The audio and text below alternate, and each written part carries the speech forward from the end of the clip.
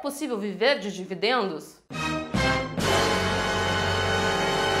Oi, eu sou a Gabi, analista de investimentos, e eu quero falar agora como a gente atingir a nossa independência financeira, porque eu sei que é algo que todo mundo questiona, todo mundo tem esse sonho de ter essa liberdade de conseguir a renda passiva. E uma das melhores formas para isso é realmente a questão dos dividendos.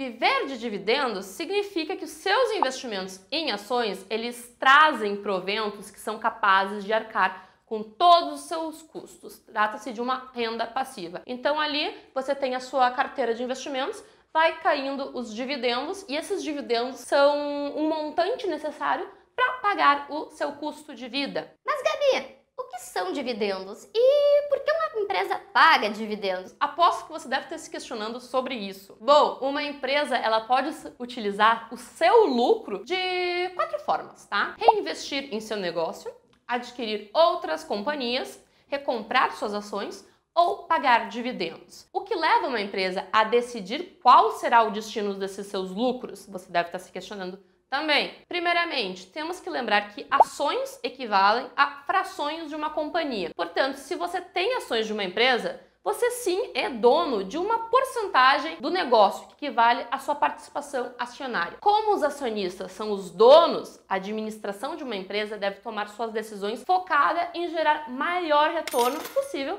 aos donos, os acionistas. Se a empresa é saudável e opta por distribuir dividendos recorrentes, indica que ela possui um excesso de lucro que não precisa ser reinvestido no seu negócio. Então, provavelmente a companhia ela já está bem estabilizada, ela já está ali gordinha, fortinha, ela não tem muito mais para onde reinvestir novos projetos e ela decide distribuir esse seu lucro. Você pode ver que tem muitas empresas que quando elas são novas, são pequenininhas, elas dificilmente vão pagar muitos dividendos, porque elas estão reinvestindo, elas estão focando nesse crescimento. Então são estágios diferentes que as companhias têm. Se a quantidade de dividendos distribuída ela é atraente e o investidor sabe analisar a qualidade da empresa, ele pode encontrar uma barganha, pois o preço ele não reflete o valor intrínseco da empresa, que lucra muito com a relação da sua cotação atual. O mercado de capitais ele tem uma performance histórica superior títulos públicos. Por isso que ao investir em boas empresas, você aloca o seu dinheiro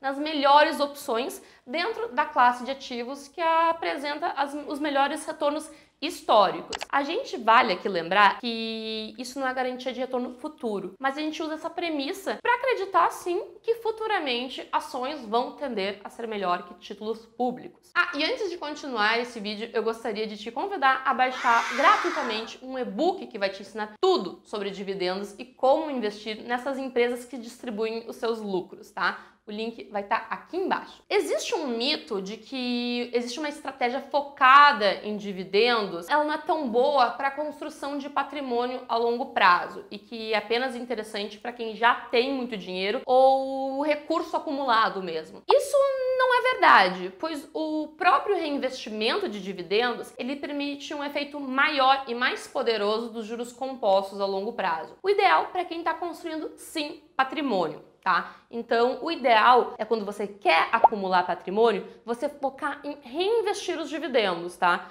E só realmente utilizar esses dividendos para pagar contas, ou seja o que for, quando você atingir a independência financeira. Esse gráfico, ele traz aí a amostra do investidor reinvestindo os dividendos ao longo do tempo, em comparação com ele não reinvestindo os dividendos ao longo do tempo. A diferença de resultado é absurda tá? O gráfico vai estar aqui na tela, ele mostra a diferença da performance que o investidor tem investindo em Itaúsa 4, tá? E TSA 4. Então, de fato, reinvestir os dividendos é excelente para a construção de patrimônio. Além disso, existem muitas empresas que crescem mesmo pagando bons dividendos como é o caso de inúmeras empresas que temos em nossas carteiras na Suno, tá? Inclusive que atuam em setores aí não muito utilizados na indústria, com ROI elevado e conseguem crescer mesmo sem realizar grandes investimentos. Eu não tenho dúvidas de que uma carteira focada em dividendos e renda passiva desde o início, desde agora, é uma carteira vencedora de longo prazo, que inclusive pode entregar retornos ainda superiores que outros perfis de carteira e principalmente com muito mais segurança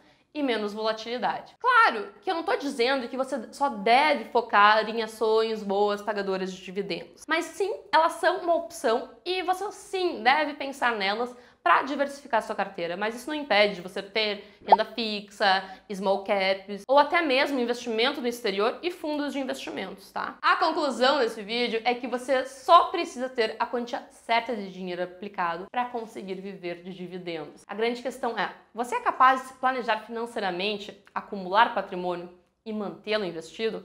Essa é para você refletir comenta aqui a sua resposta e também já deixa aqui suas sugestões para os próximos conteúdos. Eu vou pedir que você compartilhe esse vídeo com aquele seu amigo, familiar que está precisando de uma ajudinha na sua vida financeira. Eu ficando por aqui, um grande beijo e até a próxima!